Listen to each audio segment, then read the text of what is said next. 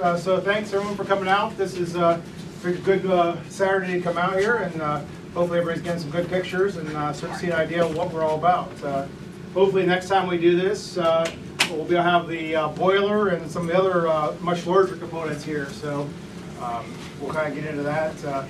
My name is Jason Johnson. I'm general manager of the T1 Trust. Been involved for about seven years, and it's my job to make take your money and turn it into steel.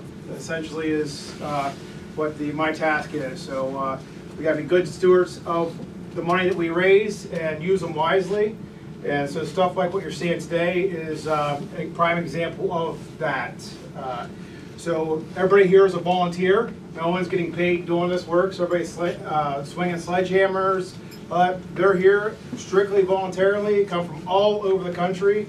They a lot of them work on steam locomotives Monday through Friday, somewhere in the country on engines such as 765, 611, 1225, you name it. Uh, um, so they're not here to just to help us out, lend a hand. So uh, uh, if you see those guys out there, um, just tell them thank you because, like I said, it's the, with their efforts that uh, we can make this successful and uh, bring this thing to reality. So we're uh, we've made extremely good strides over the last couple of years, and we continue fundraising continues to grow each year, and that's why we're now getting in the phase of doing these uh, open houses and uh, different fu- um, functions, letting people know. So previously, we've only done the Pennsylvania Railroad Technical and Historical Society Convention, and usually gave two presentations of that. So for those of you that have been through that, uh, this is a variation of that from last year, an updated version of that. Um, So we'll kind of go through. So we'll, we'll kind of go through of where we've been, what we're doing, and where we're going, and uh, some of the the financials and everything like that. We are a transparent organization, that's very important. Um, We want to make sure everybody sees where we're spending all the money and what we're doing with that to uh, uh, move the timeline forward. So uh, uh, we like to keep that wide open, and anytime anyone wants to see we'll let them see it and uh, do that, so. So like I said, we started uh, about eight years ago and moved right along uh, from an idea. Everybody thought we were crazy when we started. Uh, We still are crazy, and that's okay. We're, we've embraced it, and uh, we're, we're fine with it. Uh, We enjoy the naysayers, people telling us all the time that we're not gonna do it. Those people only uh, fan the flames and, and push us even harder, so, um, you know, you'll never see us try to convert them, but I will guarantee you, they'll be the first ones trackside with their cameras when this thing is done. Uh, I can assure you of that, so, um, I've been doing this long enough to know how those guys are, so. uh, So so this kind of a title slide what we're kind of be going over here. Um, At any time, feel free to, we can ask questions, we'll have a question and answer session at the end as well. Um, Try to help everybody out, everybody has different questions, Uh, so just uh, be vocal with that, so everybody in the room can hear it, because they might, you might ask a question somebody else is thinking, so um, I'm open to it. So, your review, so we did add, uh, so a big part of what we're doing, uh, adding um, seasoned veterans in the industry to our team. Uh, Again, all volunteer, we don't pay any- anybody. Everybody's doing for the betterment of the uh, uh, the locomotive. Uh, We had Robert Franzen uh, this past year uh, to our group. Uh, He owns Steam Service of America. He also owns a railroad down in West Virginia called the Potomac Eagle, for those of you who heard it. Uh, It also gives us another opportunity of a place to go take this thing when it's ready to go. So um, uh, that's always uh, good to have people like that on your team that own railroads. Uh, So that's the one question we get all the time, well, where are you gonna run it? Well, we have a lot of different places. We, and if you look on our website, we spell all those out. Um, And none of them are NS or CSX, um, only because uh, they go through 10, 15-year cycles where they're friendly, then they're not friendly to steam. Then they're friendly again, then they're not friendly. If you look at the history, uh, for the last 40 years, it's been like that. So um, we'll have another shift. There's enough uh, younger guys, and I say younger guys, 35 to 50, in the ranks of both NS and CSX that are moving way up inside CSX that are very steam friendly and come up within the industry. So we're hopeful that within a number of years that those people will get to a position of power and uh, will be able to help us from the inside, which is uh, an important part of it. Um, Otherwise, still places like the Cuyahoga Valley, uh, uh, Steamtown, uh, there's, there's a fair number of places that we can go and, and do it. So uh, we're not limited by any stretch of imagination. Anywhere 765 or 611 could go, um, we'll be able to go as well. So we would address those engineering challenges. So uh, Robert brings a, uh, 40 years of experience in steam locomotives repair. He's worked on most of the engines in this country. Uh, ran, he pretty much built the Grand Canyon Railway uh, out there from nothing all the way up to what it is today. So um, he was a big part of that when there was nothing there. So uh, moving forward. Some of our corporate sponsors, last year, the National Steam Preservation Group, uh, and I think some guys here from there as well, helped us out with, uh, uh, they, the firebox doors you see outside there. Just another example of groups working together here. They needed some for their locomotive. They reached out to us and said, hey, we're having patterns made. Would you like to have one cast if we do this up? And just for the cost of the casting. So it allowed us not to have to worry about paying for the casting, uh, or, sorry, not the, all the pattern work, the engineering and all that. They had all that done already, so we didn't have to worry about that. Saved us about eight thousand dollars and, and money we would have had to spend otherwise, so, uh, and something that we would have needed. Uh, Jack Tool, they're out of New Jersey, they're a defense contractor, and uh, they're doing the frame. So that's another big question, which we'll see pictures of that here in a little bit. So they're taking the original uh, Pennsylvania Railroad drawings. Uh, They've got a guy, about eight, 10 hours a week that spends on uh, converting the original 2D drawings into a 3D model of the frame so that we can use finite analysis on the frame stress analysis to convert it to a, an weldment and, and some castings, smaller pieces. So we'll get into that here um, uh, in a presentation as well. Uh, So they, they spent a lot of time on that, again, completely voluntarily. They, they're uh, giving one of their mechanical engineers uh, time every week to work on this just on our behalf, so we're very thankful. Um, And then Gemini, uh, where you're at here, again, uh, do a lot of um, the orchestration of everything in-house, all the parts. We have part pieces, parts all over the country in this thing, and uh, we're hoping here in the next couple years that we'll all get everything centrally located and uh, everything in one place. And it- it's pretty impressive when you see everything, when you have the tender and the cab uh, and the boiler all together. It will be, pretty much have, be, have representation from coupler to coupler of the locomotive within probably two, two and a half years. So, uh, moving towards that, that goal. Uh, FMW Solutions, um, these guys have been valuable to, as far as the boiler engineering, uh, converting the original all riveted boiler to an all welded boiler. Uh, So again, volunteered, donated their time uh, to make this happen for us, and uh, it's been a huge asset to us.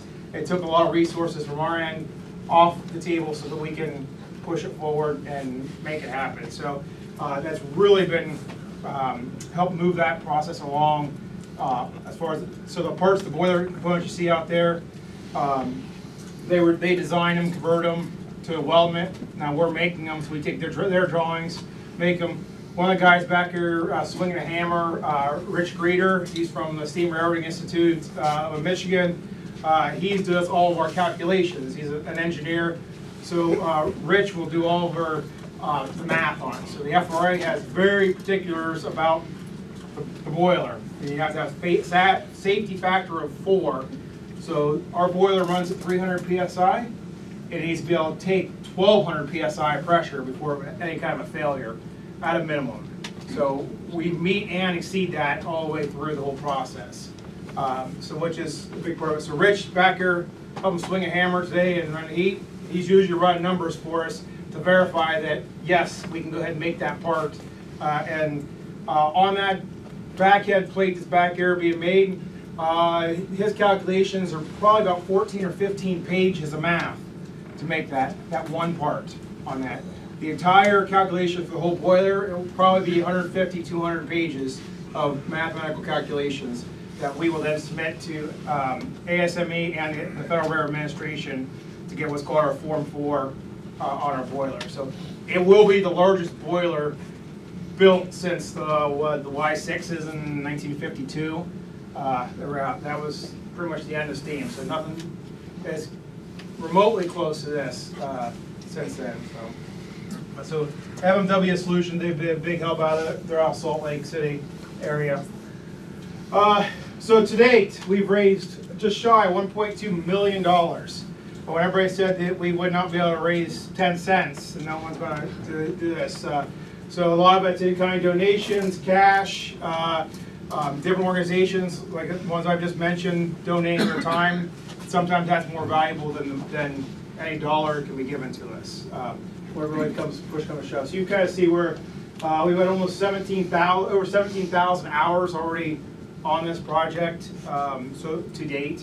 And uh, a lot of that was getting the original drawings uh, from the Pennsylvania Archives, which we'll get into here as well, as well as making uh, the hundreds, not thousands of parts we made to this, this game. So. All right, so the engineering on this, uh, we'll kind of give a, the breakdown here, what you're going to see here. Uh, so obviously engineering is a big phase on this. So we're doing a design build combo. So we're kind of engineering as we're building, but we're confirming we're not just throwing on the wall and see what sticks. There, there's a whole a method to the madness when it comes down to uh, the engineering. So uh, the boiler is a known. We know how big it has to be. We're just converting it from an all riveted 1940s boiler to a 2020 all welded construction boiler. Um, be much stronger, better, last longer, um, and we'll never have to. What we're doing out here is a one-time deal. That die will probably never be used again unless somebody in this room decides they want to build another T1 to double head them at some point. So, or it, Birdhouse used it. Well, I have to say J1, but they, they didn't have a Belpaire firebox. So, um, uh, so yeah, no other Pennsy engine had a Belpaire this big on that, and this will be the largest backhead ever made since 1950s as well. So, it's about uh, 25, 30% bigger than uh, a Berkshire or uh, one of the Northerns that are out running around. To give you an idea how much bigger that backhead is back there. So. Uh, so this kind of gives you, you know, hey, we're a bunch of engineers, so we have to have our Gantt charts. You know, like I said, you kind of see where where we are in the process. We still say 2030 is our deadline when we, we're, shooting to have it completed uh, when it comes out there. So you see 2030 uh, represented there. Uh, and, that's, there's, I'm not getting into the, how we came up with that number. It's, it's well documented on our website. Uh, feel free to see that. Uh, a lot of time, effort went into that, uh, kind of setting it up, where we need to go. So finishing up all the drawings, and now we're into converting all the to 3D models and start building components here. So uh, as we move along, uh, that line will continue on. Some things we're way ahead on, some things we're a little behind on, but it all evens out. Um, we have to be flexible and take opportunities when they present themselves to us. We have a boiler shop in St. Louis that's giving us really great rates on the boiler construction. So they're doing all the welding, forming of the cylindrical portions of it, and X-raying, and I got a big oven. It, this boiler when it's done will be 60 feet long, uh, eight foot diameter, and uh, weigh about 60 tons. And it'll shove into the, their whole uh, oven, and they'll bake the whole thing off and stress relieve the entire boiler all in one shot. So, uh, and uh, so they're uh, a pretty amazing group to work with on that. So, so we we saw before was the original. Here's the uh, slightly modified. We had to add uh, converting drawings. is taking way longer than we've converted a lot of the major drawings, but all the nuts and bolts and small brackets and all that still haven't touched on that stuff. So we focused on the important stuff, and we'll come back through and do all the other stuff here, um, which will push that timeline for conversions. All of our engineers are volunteer. Uh, most of them are mechanical engineers, industrial engineers that uh, donate whatever time they can. We'll give them some drawings. They'll uh, develop the 3D models, typically in SolidWorks, and then give them back to us, and then we'll incorporate that, incorporate that into our master model, so that we keep together. Uh, and then we take off that model and make all of our two-dimensional drawings so that we can make manufacture everything in different shops around the country. So, um, so here's kind of the status on all the drawings. This is the big, we were very lucky that the archives in Harrisburg, Pennsylvania had, uh, as, as you see, just shy, ninety-nine percent of the drawings we needed. So there's very few drawings that we needed. We literally had a guy over there, um, one, two days a week, digging through thousands of drawings. It got to the point where they actually paid us typically you go to the archives, you- you go there and you have to pay them to look through drawings and make copies or anything. It got to a point where there was so much that they were paying us to pull drawings for their other customers um, on there because we knew the- a lot of stuff better than they did. So, uh, so actually, instead of us paying them, now we have a revenue source. They're paying us to, uh, to find the drawings. It just, again, an opportunity presented itself. We jumped on it and we were able to acquire. uh, And then, so then everything we've taken, we digitized everything. We have an online repository on our website for members to get into. And then all the engineers can have access to those drawings uh, in large format, high resolution, to convert those over to 3D models. So that's a huge part of it. Uh, So I said, tender, we're missing a few drawings, there's 14 drawings missing. Most of the drawings we're missing are stuff, little brackets and uh, mostly insignificant things. Anything major, we pretty much have. Um, uh, The Franklin type uh, B2 val- uh, valve gear drawings, we have most of those things as well, those drawings. Um, Some dimensions are lacking, so uh, we'll have to go through on the on the engineering process. We have uh, developed a process to fill in those gaps and and, uh, uh, do that. And there's also one or two locomotives out there with this B2 valve gear that um, we do have access to that we can go tear it all apart and verify dimensions on stuff when when that time comes. So, uh, so we're pretty confident in our drawings. That gives us a huge advantage to have the original drawings from the engine, so we can go with it from there, so. Uh, so some of the missing drawings, here's a, that, is a list of all the missing drawings you see. And you can see door latches, clamps, globe valves, banner nut, I mean, it's all, anybody that's worked around this stuff can just make those on the fly uh, with no problem. So, uh, not an issue uh, uh, to make any of that stuff up. Stuff like air compressor, feed water heater, that stuff, not important. Uh, Those drawings all exist. Different groups around the country have them. So a phone call away, they'll be emailed and we'll have a police set. You saw Stoker, we acquired a Stoker motor sitting out there on the floor. That'll be completely re- overhauled, rebuilt, and then installed on the engine as it originally was. So. This is the area we get the most questions on. How much are you changing it? What are you changing to? Um, obviously, we're going to, uh, a type A oscillating cam, uh, drive gear. So basically, those of you familiar with a typical locomotive, uh, locomotive like six eleven or seven sixty-five have a Baker or Walschaerts valve gear, uh, out on the outside and, uh, and and rocking back and forth and either pins and bushings or you have a link that goes back and forth on there. Uh, this has a drive shaft. There's a gearbox right at the main driver that basically turns that, turns in a worm gear, turns a drive shaft, goes all the way up to the front of the engine, and then has another drive shaft up there that will convert that back uh, and open a, a series, uh, cams that open poppet valves, open and close. What makes the T1 such a fast locomotive has got his a typical steam locomotive, when steam comes in, it comes in and out the same porting into the cylinders. Well, steam gets its power by expansion, by 1600 times. Water, uh, compressed water hits the hot air, expands to 1600 times. That's why steam is so powerful and used in locomotives, used in power generation. That's where it gets, it's why it's so important. Uh, and still used this day uh, majority of your power plants are all use steam, one way or another. How, how they're getting, whether it's coal, natural gas, solar, all still drive the same process, because it's still the best uh, and most efficient way to make power. Typical steam locomotive uh, can only get steam in it out the same paths. So as expanding, now it's got to get out, uh, it's bigger going out than it has to get in. So it makes it very difficult, creates more back pressure in the cylinders, and then you become restricted. So a locomotive like 611 is going to probably ride around 100 miles an hour. It's going to max out because it just can't get the steam out of the cylinders fast enough. Um, but the T1 doesn't have a problem. Its poppet valves on the exhaust side are larger, 30 to 40% larger than the intake side. Um, so it's got bigger area for the steam to exhaust out of than steam coming in.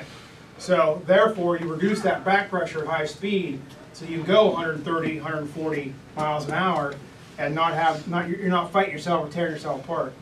Plus the, this type of valve gear, which is probably the most advanced valve gear on a steam locomotive, um, uses a lot less horsepower than a typical Walsh or Baker valve gear on what engines are out there running now. So uh, it doesn't take as much energy to move those uh, valves to let steam in and out with this setup.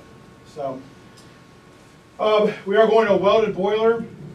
We've talked about that. Um, there's no real question on that. That was never really a discussion.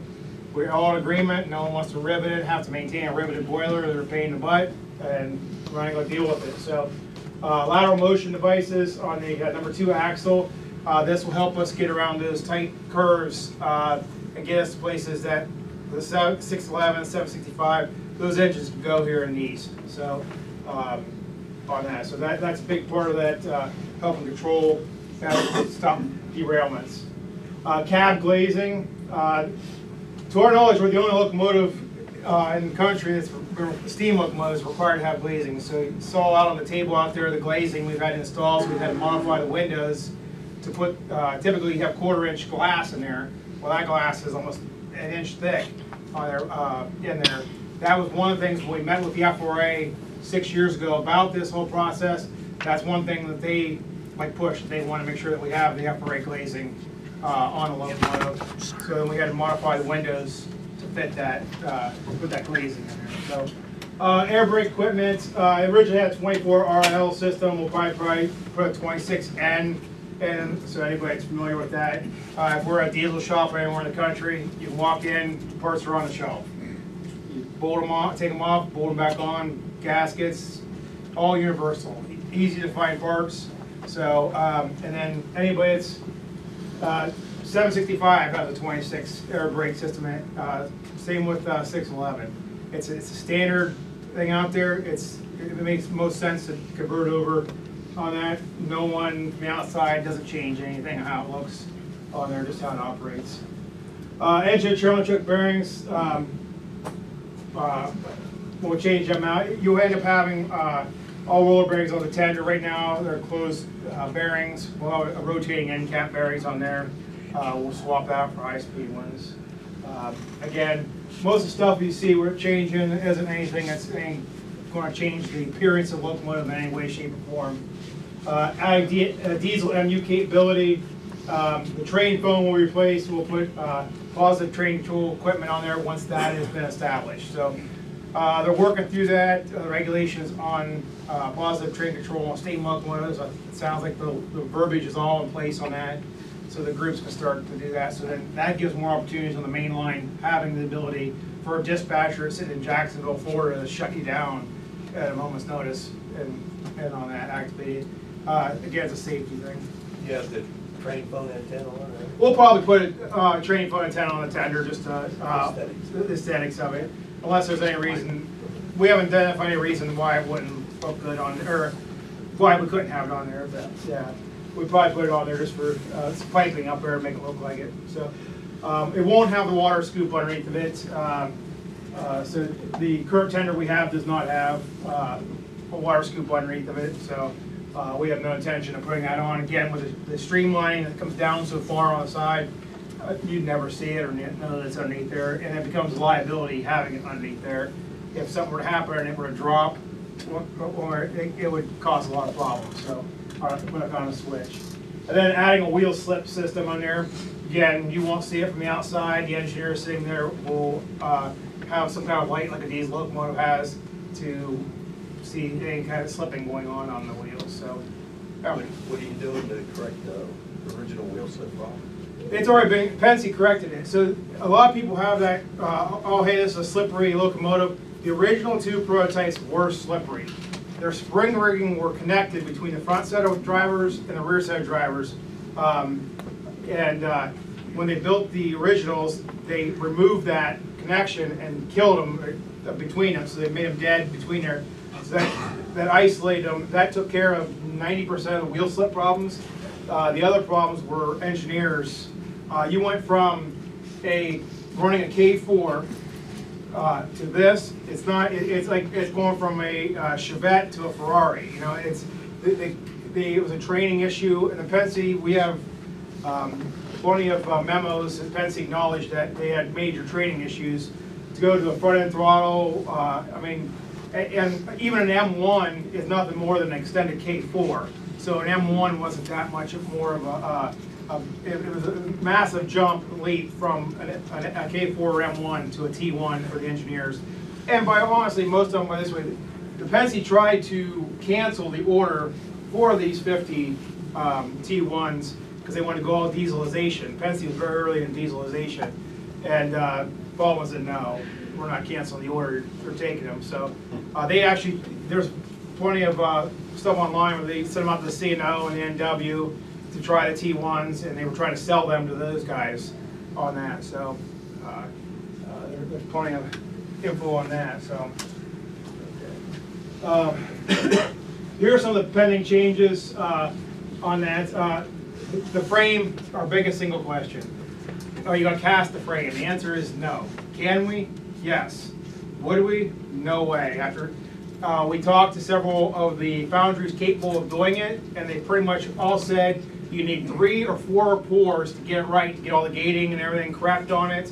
Um, And you're looking at a million dollars a pour. And so you'll be at three, four million dollars to get one good one, maybe. And you still have to machine it and do all that. We're quite confident we can fabricate uh, weldments and smaller castings that are all welded together and with, and then put it in the big oven like we're doing the boiler and stress relieve the entire thing.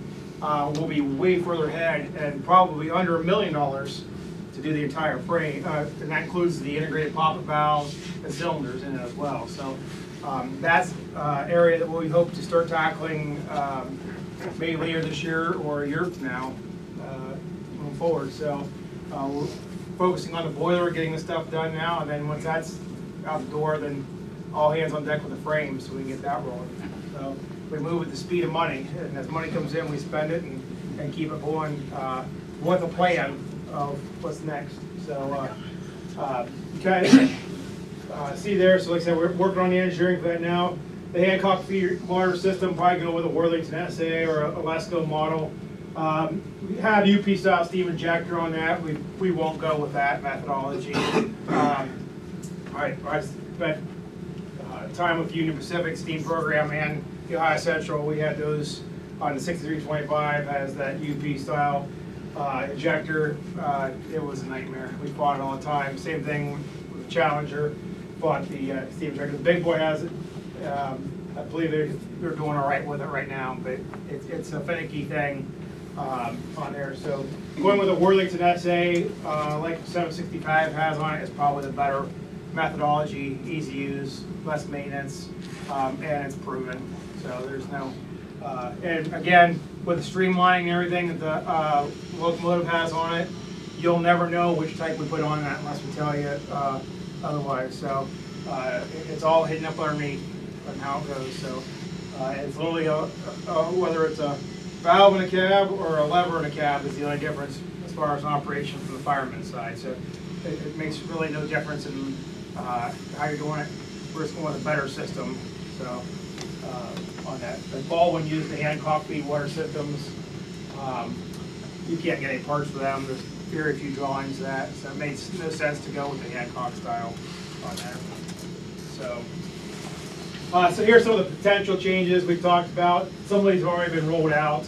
Uh, biggest one is the converting to oil uh, firing. Uh, as of today, we're still planning on coal fire, but we have no idea what three, four, five years from now hold on that. So we are um, being patient and uh, being flexible that we may have to drop a oil tank in it and, and convert it like that deal with the big boy. Uh, we are, uh, as much purists as we are, we love to have coal. We gotta be realistic in the same situation, that we gotta have uh, the ability to get it, get the fuel. And, uh, you know, when dealing with ash is considered a hazardous material on a railroad nowadays. So, uh, disposing of it's a real pain in the butt. So it it adds a lot of logistics, where a fuel truck just pull- pulls up, plumbs into the side, fills up, and walks away. So, uh, it's uh, very tempting on that, but as of right now, I said, we'll be uh, sticking with the uh, coal. But uh, at some point in time, we are, understand it probably had to be converted to some kind of oil uh, or renewable fuel We will be adding overfire jets to the firebox, give it more secondary combustion air in there, and just gonna make it uh, smoke less, essentially, get more uh, air in there uh, as it's going through the tubes and flues. Uh, And uh, putting a Lempor style exhaust up in the front end under the stack, that's just basically speeding up the steam as it's exiting, uh, reduces the back pressure in the front end of it, and it makes it run a little more efficient. Just technology that's advanced since the nineteen fifties. So, um, we'll do some sort of that. Uh, The wheel slip control system, we kind of talked about that already. Um, Revisions to the cab, it doesn't sound like we will probably do too much that. We've already built the cab. Um, And you may get an extra fin or something at the top put on there just to help uh, redirect airflow and and smoke over it so it doesn't barrel back into the cab um, like it supposedly did when it ran. But, um, Gets third, fourth hand knowledge on that. We'll find out how that really works down the road. Uh, Increasing the grate area, obviously, we're not going to do that. This was a free steaming, it's 92 square feet. Um, excuse- me. Um, We're not going to change any of that. That would create a major engineering challenge that really was unnecessary. This boiler was a free steaming boiler, so which means is it, it would produce more steam than you would actually physically could use with the throttle wide open or anything like that. So it never had a problem. There's no reason unless you have bad coal or anything that, that you're not on three hundred pounds on your safety valves when you're going down the railroad, so. um, uh, And most of your big engines, uh, your Northerns and what are free steaming boilers, they've been designed big enough to, uh, produce enough steam to keep them going, so. On that.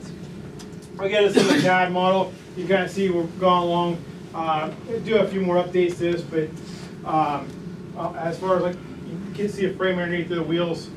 Uh, The side rods, we have them are currently being forged up uh, north up in uh, Canton area uh, on that, so that's something you'll be seeing uh, in the next couple months.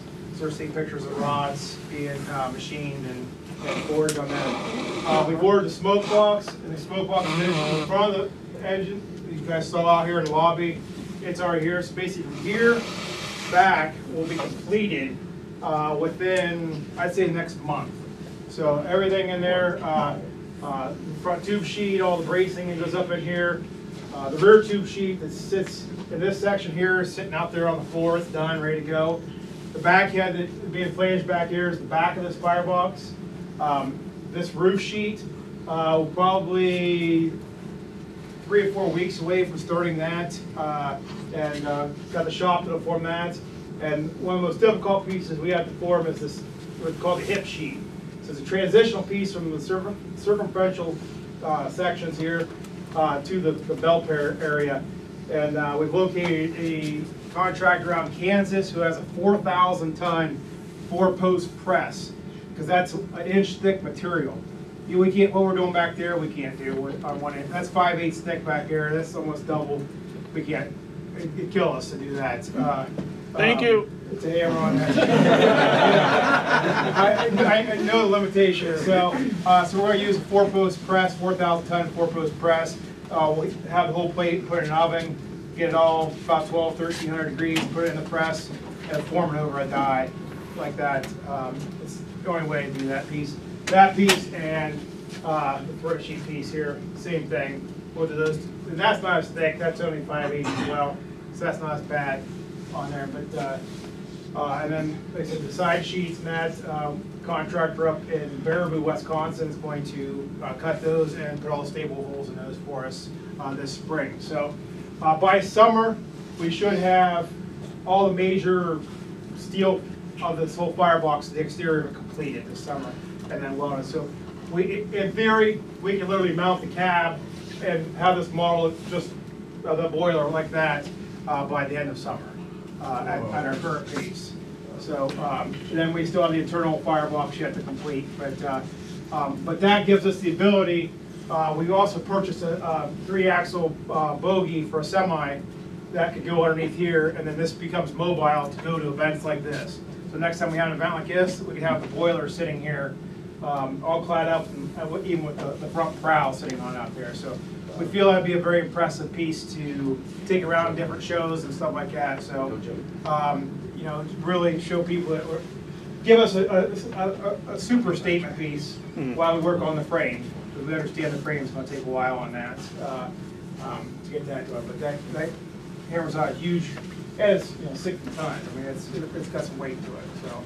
Uh, to put the inside of the firebox in, that'll put us over a super load, so, uh, one of the big reasons we'll want, we just go finish inside the firebox and that, we wanna take it around, show it off before we go too heavy with it, and then, you know, if we're Michigan, we're okay, we can drive around all we want Michigan, but, uh, most of the states don't like you, uh, on the roads like that, so, um, so we wanna stay under hundred and ten thousand pounds, uh, to, uh, move this thing around easier, so, and cheaper.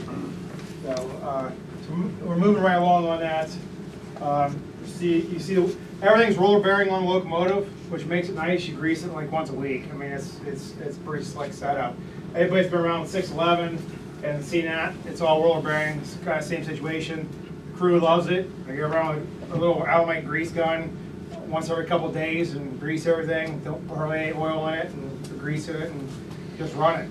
You are not working on it all the time, so, uh, or if you run any other locomotives that are out there, uh, the Alemite grease, every hundred miles, you're out there greasing the rods on it and and keeping it going. It's a major, uh, pain in the butt, especially, and big railroads don't like that. They don't like you stopping in the middle and walking around out there greasing right next to another main line right next to you. So they, they kinda shy away from that, but, uh, we won't have to worry about that in this situation. Um, You guys see that here's the boiler without the smoke box on it, on there, so this front tube sheet, and there's pictures of it out here, um, the lobby, everybody's been on our website, Facebook, and familiar with us, you've seen pictures of, it. for any, picture you see of it, it's actually hundred and eighty degrees, it's upside down. So, uh, when you look at it, try to get bearings on it, it's all, they're, it makes it easier for welding and whatnot, they have it on a rotisserie, to flip it up and down, so. And then you see all the other parts, the back head that we're making today is back side of that, uh, on there. Um, There's more shots, that front tube sheet, some of the engineering drawings. Um, We had to go to a a Norfolk and Western style design, get away from the traditional stuff. I won't bore you with a whole lot of details but what it does is have this uh, thick ring welded in, and then this tube bundle that is through the middle here gets welded to that, so that 15, 20 years now, this is a uh, consumable replacement part that wears out. So you just literally cut it from this ring, which is separate from the actual boiler shell itself, and then you just put a new one of these in, instead of having to go through a lot of headaches and hassles. Uh, it- it- It's, and that was one thing the FRA asked us to, we have a unique relationship with the FRA that most other operators don't. The FRA is a regulatory agency, they're not a consultant. Our situation is a little different. They want to make sure that we are on the up and up, because there's a lot of other groups that submit stuff to them after the fact, they're done, it's not right, and they gotta be the bad guy, and it's a lot of negative press. So we're trying, we work hand in hand with them, present every new section we're building to the FRA before we supply, before we start construction of it, so that we can avoid any headaches down the road with them.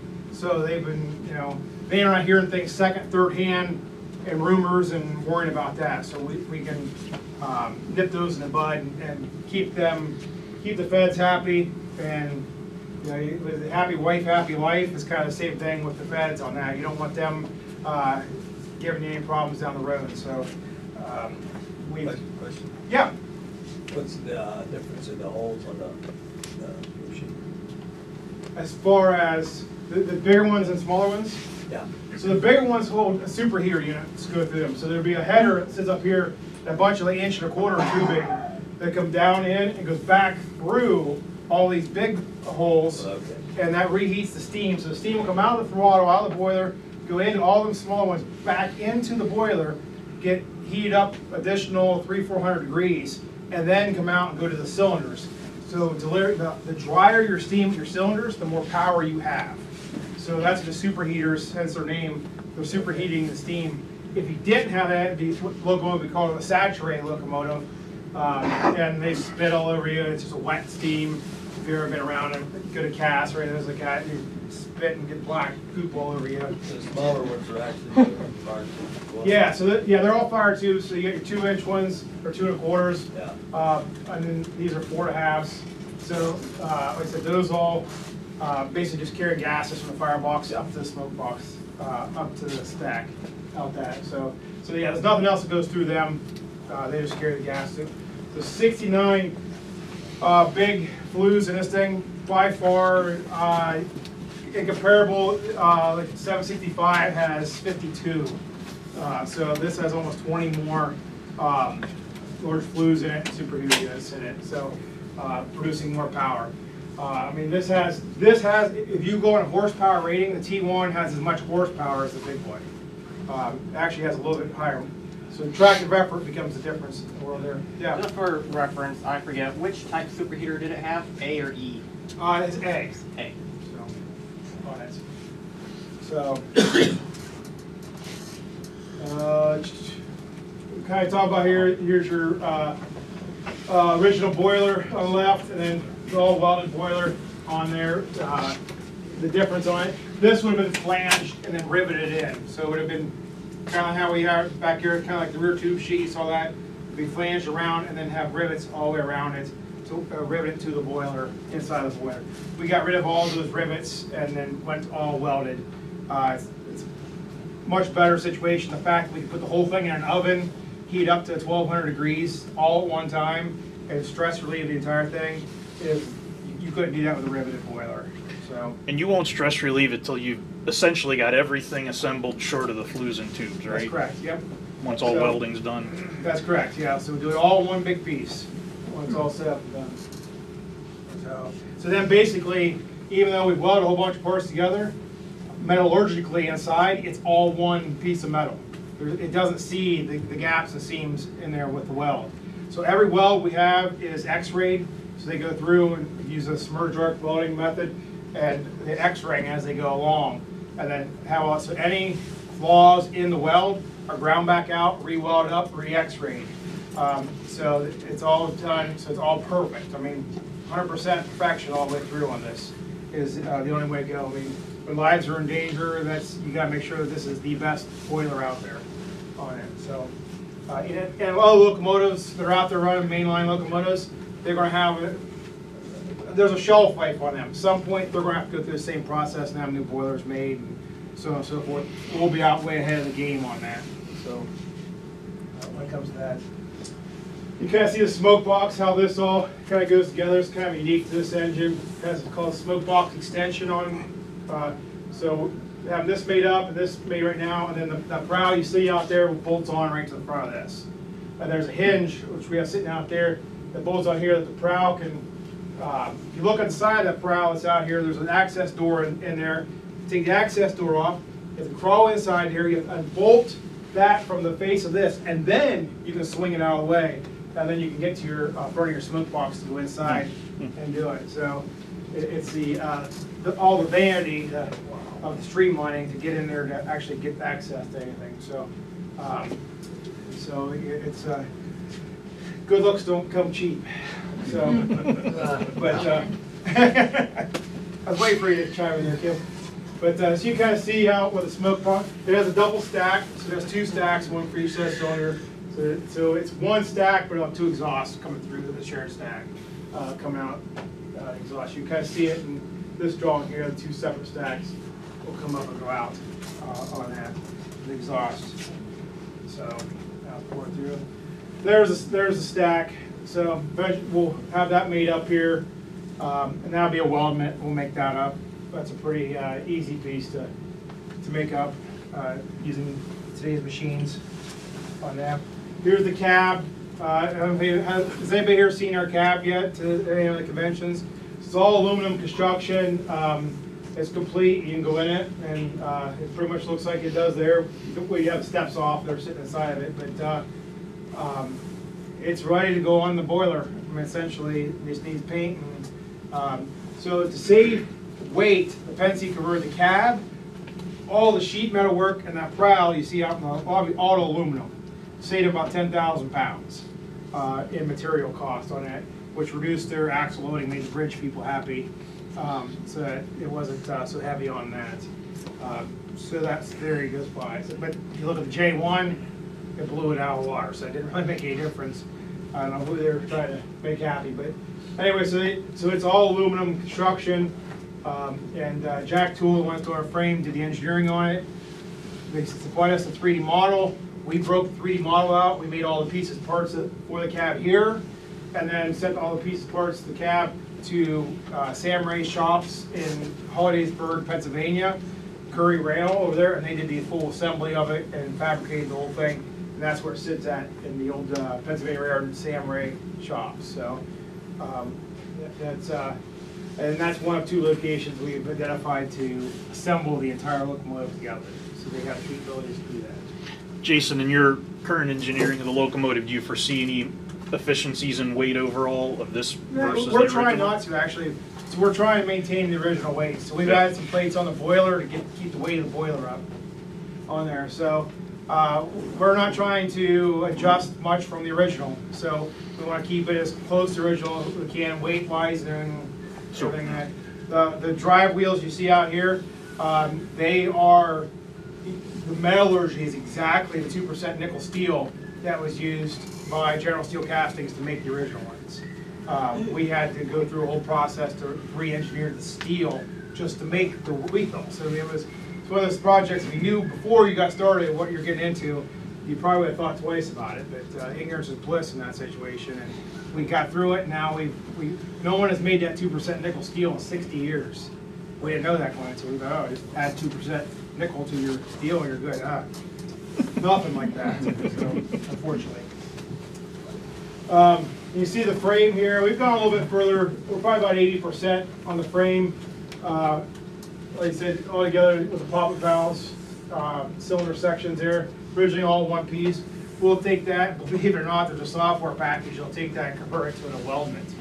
So we can convert it to a weldment and then match the stresses up, so within one or two percent of the original on that. And then, and believe it or not, the Pennsy, we have the Pennsy drawings that they had, they made welded cylinders for poppet valves for the K fours. Um, and the C and O Hudson that's in the Baltimore Museum, that has the same type of valve gear on it, has, um, welded cylinders on there. So everybody said, well, you can't, no, yeah, you can weld cylinders, um, on there, it's not a problem, there's multiple engines that did, and they ran, and we have the original Pennsy drawings of how to build them, and where to put the weld seams and everything like that in it, so we have all the information, and we'll be converting that over so that we can manufacture all that stuff up, so, uh, you know, we'll probably start with the sets of the cylinders, um, and then kind of work from there on the frame rails, out from that, so. I have a question. Does this engine will have cab signals when it's finished?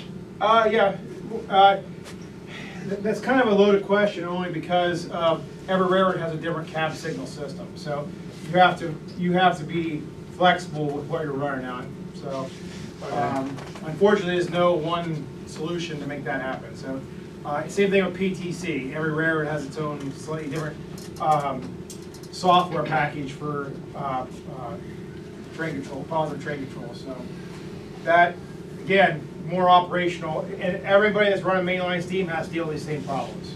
So we won't be reinventing the wheel or, or taking care of problems that haven't already been addressed, so. Okay. Can I get into it, you can kind of see, there's a part of a boiler for the front tube sheet is welded in. Uh, the, the- it's eight foot diameter, it's an inch and an eighth thick, thick steel on that, that boiler. So then, they- they're putting the, the smoke box on, the front tube sheets on. Um, so pretty much everything from here all the way up, it's pretty much complete. And so we're now focusing on the firebox area and making everything, um, from that, so. Uh, It's, and that's being done in St. Louis. So uh, Continental Fabricators, they built several locomotive boilers over there. Um, So they're familiar enough with it and uh, very good to work with. So we- we've not had any issues with them and um, we manage expectations as we go. So you see some of the, they, the pieces they put inside there, just to keep it, keep it round. They're lifting it, I mean, it can collapse under the weight of itself, lifting up on cranes, it's so heavy and thick. So they'll put the support bracing inside here, just uh, temporary, which they'll be taken out later uh, on that. Our chickens, our fire doors.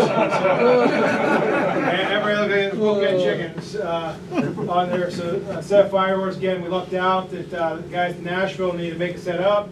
So I said, sure. So we just had to pay for just the casting, physical casting of them, and then have to pay all the other stuff to make it happen. So that's one less thing we had to worry about. There's been other multiple other things like this we've done. It's been great from that standpoint. So uh, saves us a lot of money that we can plow into items like the boiler and other large components. So, uh, I'll kind of, a lot of the parts you see here, stuff you see outside here on that prow, there's, the- there's the cab, uh, for all purposes over Curry Rail, so it's already set up for the streamlining, and here forward, start to streamline the case, streamline casing that goes out from there, so, uh, hard seeing this, but this has the shape of the Belpaire that we're actually building, so the, the back of the, of the back head that's sitting in the back there will go right about this area here.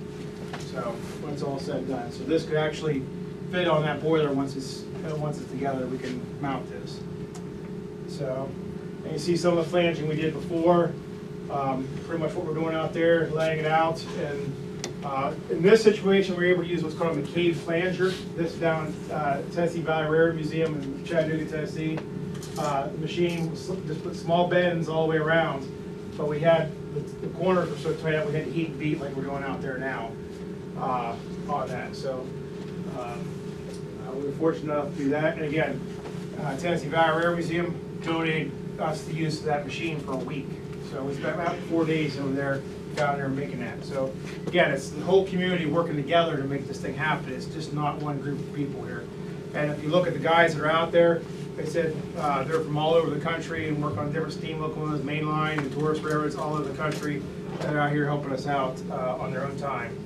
So you could kind of say that this is kind of like a parallel for like, um, when the Pennsylvania Railroad was like building the, like, like the S one or maybe the T ones, like where it's like, it's not just the Pennsy, it's also Baldwin, Alco, and Lima, they kind of collaborated on that effort together. You could say this is uh, kind of a parallel situation. Yeah, yeah, we're drawing in lots of talent from all over the country, um, and playing on that talent, using that to our advantage. I mean, like I said, and, uh, that is a great thing about this. And as, every year, as we gain more, gain more momentum, more talent comes in, and it's up to us to manage that talent to make it happen, so.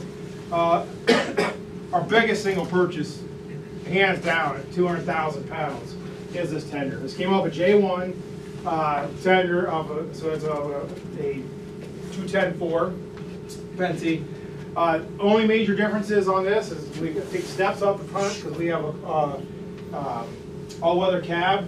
We'll have to streamline the top of the tender tank, and then obviously we'll rebuild the trucks and stuff underneath it, but that's it. I mean, length, frame, wheels, trucks, it's identical.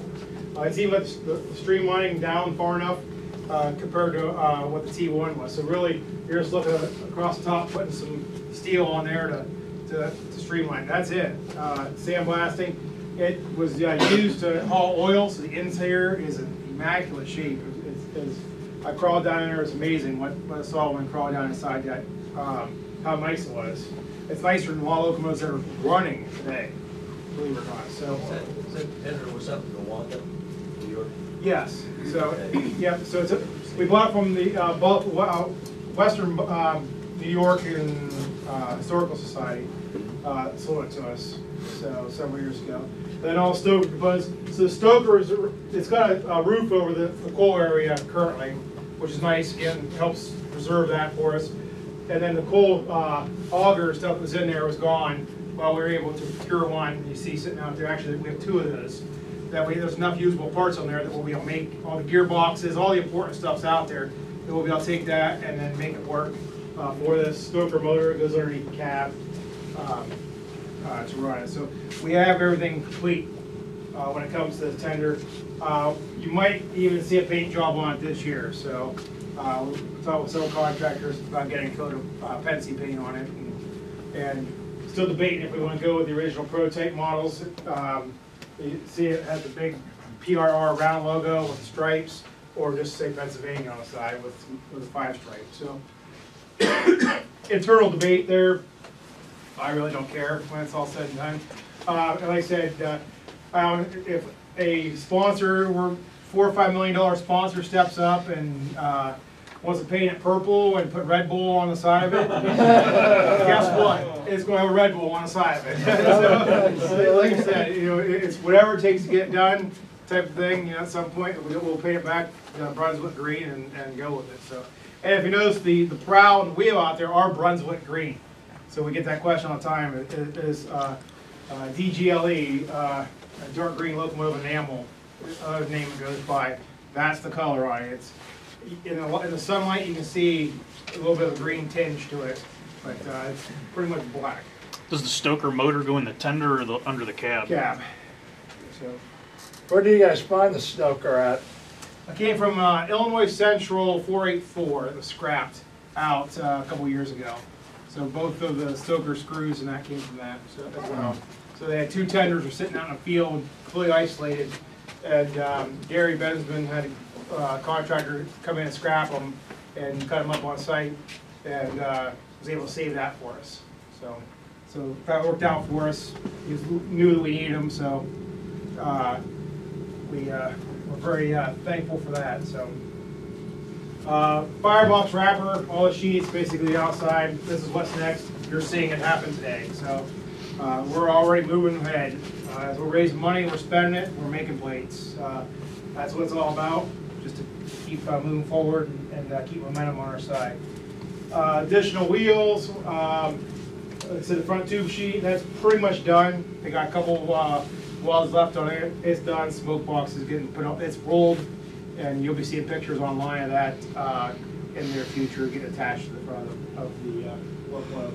So that adds another sixteen feet to the front of the locomotive, so it just keeps growing and growing, and getting heavier and heavier. Uh, frame, obviously, we're doing uh, all the CAD model, doing all the analyzing, so we want to make sure that it's, the new frame is not too rigid or stiff, but not too weak either. So fortunately, with all new software, you can test all that in advance. So uh, that's what's nice about the whole thing, so we can check everything and make sure it's all gonna work before we actually start cutting steel on there. So what material we choose to go with and all that will be in uh, good shape. So um, you'll be seeing more of that later this year. Uh, We are working on that in the background to make sure that's done, ready to go. So a big thanks go to Jack Tool over in New Jersey for that. They really stepped up and, and just ran with that. They won that project. And again, if they would have realized how much work it was gonna be, I don't know if they would have taken the job.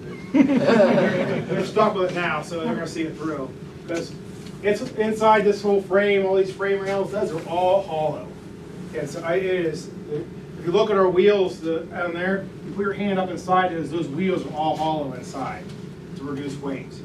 So, um, and it uses the same, same company, General Steel would have made that, uh, as the wheel, so. On that, um, so as far as learning, you know, our, our big focus is, you know, you always see us, uh, out there looking for fundraising and then you see what we're doing with it. I mean, that's really what it comes down to. Uh, we'll go to Lewistown, find some, uh, if we find some of the other drawings, they might have them there, they're not at the archives in Harrisburg. And then continuing on with the CAD modeling, uh, and then we're always getting more suppliers, vendors, and talk to them. It's pretty amazing. You go talk to a boiler uh, contractor or something like that, tell them what you're uh, wanting to do, and uh, they'll wind up, they hear the whistle out there blowing, uh, and they'll give you a heck of a rate on it. So it's crazy. Or donate work to you because they just passionate about the project as well. A project that right before that they didn't know anything about. They learn about the project. They're like, wow, all right, and then they'll donate us five thousand dollars in materials or ten thousand dollars in uh, forming of, of some. It- It's crazy. Just simple question, just ask. So, but uh, all right, uh, questions. Any questions from the group here? Try to be as thorough as I can. Yeah. Uh, you mentioned that you're having parts manufactured all across the country, and you've mentioned that you're gonna have it running on the Cayuga or on, or SRI. Where are you going to perform final assembly?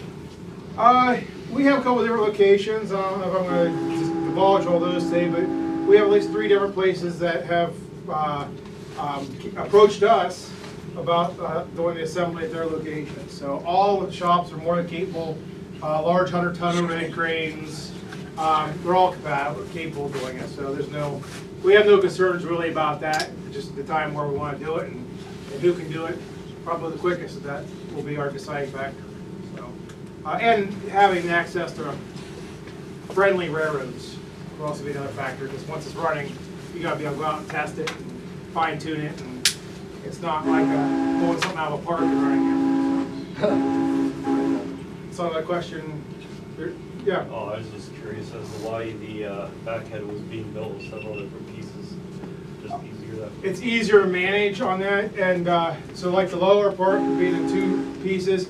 Um, those are pretty much straight bends on there, so we were able to do that on a press brake to make that, so we don't have to beat on with hammers to make that around. So it makes it a lot easier to, to handle, manage it, put it in a press brake and bend that. Then we'll have the weld seam there, and then the top piece.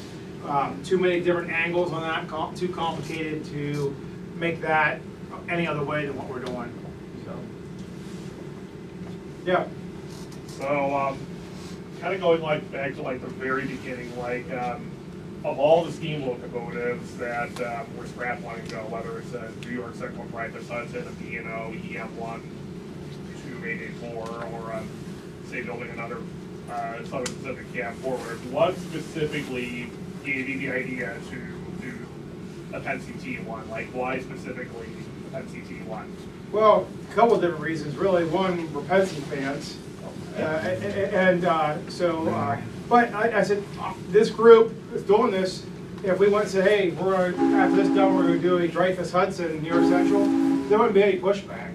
Uh, ultimately, we're all steam fans when it comes down to it. So um, the T1 just being cool.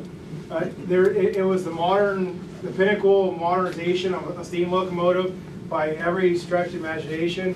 And uh, it just, a cool locomotive. Uh, uh, It was really one of the big deciding factors. And the fact that none of them survived, um, you know, that, that's a big part of it. So, you know, um, we're in a situation where we're getting close enough to having a full representation of a locomotive completed within two or three years, that you have it on display, It may not be operational at that point, but if something were to ever happen and not, you would have a heck of a museum display somewhere else that would fill in that gap, so. So we always have a contingency in place, but we're not working towards a contingency, we're working for the primary on it, so. But, uh, we're gonna be thoughtful of that, so, yeah.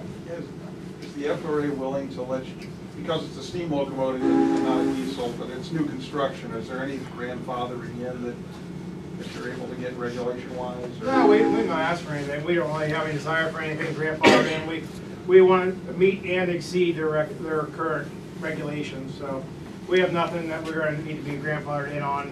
Not even PTC? That's not a FRA thing, that's a railroad thing, so, uh, Norfolk Southern or uh, CSX or whatever, wouldn't let you on if you didn't meet their PTC requirements. So that really wouldn't, uh, it'd be ultimately be up to the railroad.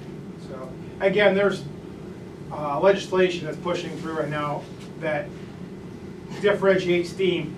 Big thing with steam and PTC is the throttle. You can't, on diesel, you can electronically Right. take the throttle down to, to notch zero on it. You Can't do that on a steam locomotive. So they waived that in the PTC requirements for a steam locomotive. So they're pushing that all through so that there'll be a separate section under the PTC regulations for a steam locomotive. They can, the dispatchers in Jacksonville can still shut you, dump your train or uh, set up your air brakes on your train and stop you. And you'll have a nice big warning light come on the PTC has been engaged in your locomotive. So as the engineer, you need to be shutting that throttle. So, as you're coming to a stop. For one reason or another that you may or may not be in know of. There might be a, a train stopped ahead of you or whatever the case would be. They're, uh, they have that ability to do that. So, and in some cases, it may not even be the, um, um, dispatch doing it, be the computer system itself doing it. There'd be no human interaction to say, hey, you're too close to train ahead of you. They're break, they're gonna put you a, a minimum brake application and slow you down, so. uh, But we will be on, a blo- uh, we'll have the same, same as two sixty-one, seven sixty-five, six eleven, all those, they're all being, going towards that. We'll have that same ability as them, so Uh, there's communication between all the groups that there may be a, a suitcase, your nuclear suitcase, that will have all the software in it that will travel. So if you're on the BNSF or NS, or whatever, you'll have all the regular digital equipment already installed on your locomotive. You literally just take this suitcase, put it somewhere underneath the tender or whatnot, plug it in, and you have an antenna on top of the cab of the locomotive, you're, you're good for that railroad. So, uh, like, I, when I, I used to go out with the Union Pacific as a fireman for the Union Pacific, uh, and we had, I, I, different cab signal systems where we go. So we'd have to stop different territories, and then, uh, maintainer would come up and switch us over our cab signals if we were going to Chicago Northwestern, or going to the UP cab signal, whatever system, we had multiple systems installed on the Challenger, and they would switch them over, um, before we went on to that territory, so that we can, we would have the correct setup. I envision something similar like for this, on this. Um, where do you guys think of keeping the engine when it's finished? Where its home? To be determined, I mean, uh, it might travel around the different, uh, um, museums, you know, you could spend a, a year at Scranton, Pennsylvania, Steamtown. It, I mean, it, it could vary, so we're, we're not tying ourselves into anything right now, we're being flexible and exploring the best option that we have. I mean, that, that's all we can do at this stage. Uh, another question we do often get asked is, uh, the speed record. How fast this thing go, and uh, uh, we have, there are multiple, multiple um, accounts of this thing, 130, 140 miles an hour, uh, timed out. And uh, that's coming from Worthington, or um, uh, Franklin, that built the, uh, the poppet valve systems on it, to railroad officials, to dispatchers that tied them, like, you left then, at a certain time, you arrived at a certain time, physically impossible running at 90 miles an hour. So, uh, you know, they got me there way ahead of time, so they were having to ride at an average speed, one particular time at 130 miles an hour was the average speed. between stations. Uh, That's fast. so- But, uh, uh, there goes the train. yeah, so they, uh, yeah, that's on what's called the racetrack out, uh, out towards Fort Wayne. You got like thirty-eight miles of dead straight, not a turn in it. Uh, the and- Chicago line. It, it just, it just goes, so, uh, and that was where they waited up the time, there's a lot of stories from there, so, um, obviously, we're not gonna be able to do that. Uh, Doubtful Amtrak will let us do it, NS, uh, CSX. Uh, most likely, what'll end up happening is going to Pueblo, Colorado, uh, to the test track, so make arrangements via BNSF. If we have to put it on a flat car and haul it out there on- and then unload it there, then so be it. But uh, we're, we're bound and determined to make that happen. We've already sent all our drawings to Pueblo to verify that we would be able to go there. And basically said, yes, you pay a two hundred fifty thousand dollar uh, testing fee, have at it. Oh. Uh, You know, that's essentially the way that they, uh, they do it. So Amtrak's out there right now testing the new Acela trains, their high-speed northeast uh, corridor trains right now out there. And, and uh, that track out there is good for two fifty, uh, so it- it's, uh, um, it- there's, would be no issues on it. You wouldn't want to go around that track at twenty miles an hour. So- No. So with the bank curves or anything like that, yeah. It's- It's designed for high-speed testing, I did see the new Acela in person. That's a very nice looking train. yeah, so. Any other questions, comments, concerns? Yeah, the, the valves that were originally on it, I assume they were tool steel based on everything I've read. uh, And they had the breakage failures on them. Are y'all planning on using a different material for that, for those valves? Titanium. Titanium? Kinda like the Iron Man thing that uh, Adam Savage did, 3D printing? Yep, yeah, we're, we're, we've already, uh, fortunately, Jack Tool is doing the frame. Yep. They, uh, are a defense contractor and make titanium valves uh, for different military applications that they can't tell us what they're making them for, but, uh, it fits right in their wheelhouse. So they've already, they have all the tooling there to do everything. They've already said that they would make all the poppet valves. Get have drawings, they'll make the poppet valves for us and donate them to us. What kind of superheat temperatures are they getting up to on those high-speed? Uh, you try to keep them about eight seventy-five, uh, But what would the superheat run on that, on that locomotive if you ran it and sustained at those high types of speeds? Well, you- the problem is you can, like the J several years ago, they put super, super E's in it, uh, and they were getting almost eleven hundred degree steam out of it. You can't, you can't, um, lubricate. Right. Oil, uh, that is, is a problem, it vaporizes the oil. So you, you run around about eight seventy-five, nine hundred degree superheat steam. So they actually had to make smaller, actually, no, sorry, six fourteen, not six eleven, six fourteen. Right. C&O engine. They had, uh, they went with a bigger tubing thinking, oh, we'll get better superheat. Well, they did, but it was too much. They couldn't lubricate. They were tearing up uh, valve rings in their, in their pistons. Okay. Uh, because of it. And then they had to go to smaller superheating units, uh, because of it. So what you do, use uh, synthetic oils, that kind of thing? No, they have steam oils that are rated for different temperatures. Oh, okay. So, power plants use it all the time. Okay. So Power plants run eleven hundred degree superheat all the time. Okay. uh, On it, Uh, but there are different systems on, than what we're trying to use, so. Okay. So it doesn't, it doesn't work well over on a steam locomotive, so you wanna keep eight seventy-five, nine hundred degrees superheat. Okay. Are you able to make compromises because of obsolescence of things that no longer are made, or like there's some lubricating issues and, Uh, the lubricating issues that exist out there are hard grease issues. yeah. We don't have, we have no, we have all roller bearings, so it's not an issue for us. So, Those are plain bearing issues, so that, that won't be a big problem. Any questions? A question, but I just wanna say thanks. Oh, hey, Oh, you're good. yes, Yeah. Woo, very nice. Yes, you know, more I think, I feel I owe you guys thanks, you know, pretty- I- everybody in here probably put some dollars in this and are here looking to see what they're getting on their investment. So hopefully you walk away here and tell other people that, yeah, well, these guys do know what we're doing and, and uh, it's just not a, uh, a bunch of uh, farmers and got together and tried to build a steam locomotive. So It is the real deal and, uh, you know, we, we thank you guys as supporters because without you guys, this wouldn't, we we wouldn't have these parts out here, so like I said, thank you.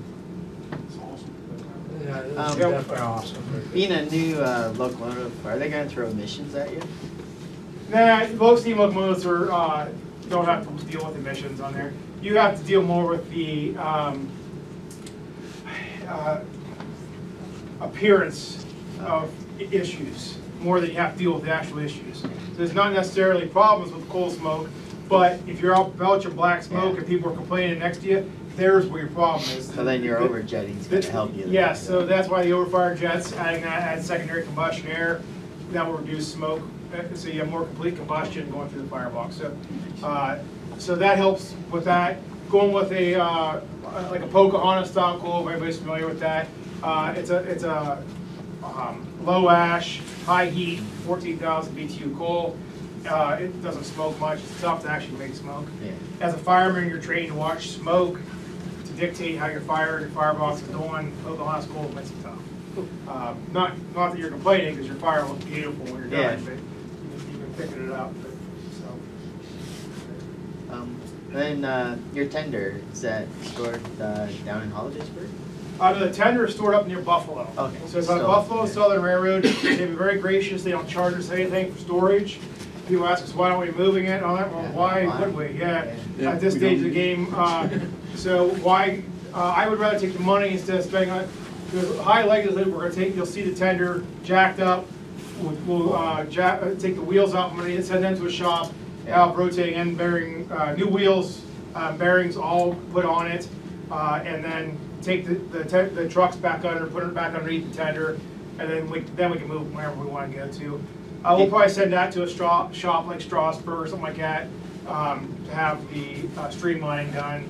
Um, and, uh, again, it's working with our partners out there to, to make it happen, so, uh, we don't intend to try to do everything ourselves. Some things are better left to people that have the tooling to do it, so, we'll cross that bridge. We saved three to four million dollars not having to build a tender. I mean, that's, um, you know, our goal, our, way over ten, twelve million dollars to build this thing down to closer to five, uh, because of acquiring that tender. And here's the thing, nobody wants to donate money towards a tender. Yeah. So it's hard for me to raise money For- for a tender. So uh, the the guys in, in the UK, that was one of the big things that we talked to them about. We do deal, talk with the A1, P2 guys uh, on a regular basis. Um, And that was when they, they had to go to the bank and finance their tender, because no one would donate money to their tender. So uh, for the A1, Peppercorn is out the run, they financed a tender uh, to get it built, because they couldn't raise any money on that. And we figured nip that button right off the, right off the get-go and Okay. just go out and Now allows you to focus Yep. right on the locomotive. Correct, yeah. So Thank you guys for coming, we're to answer any questions.